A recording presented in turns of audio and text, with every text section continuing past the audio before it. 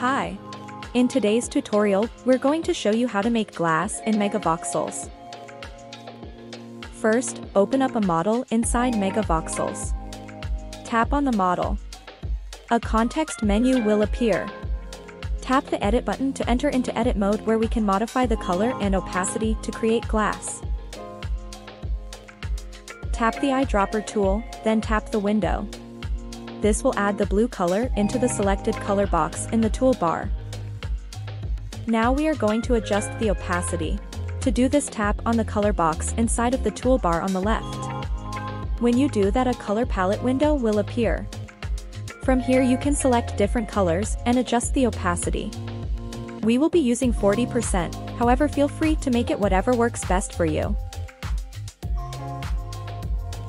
Next, select the bucket fill tool. Simply begin tapping on the window to change the colors of the voxels to the transparent blue we set earlier. And that's it. You now know how to make glass in megavoxels. If you enjoyed this video, please hit the like and subscribe buttons. To download the Megavoxels app visit megavoxels.com.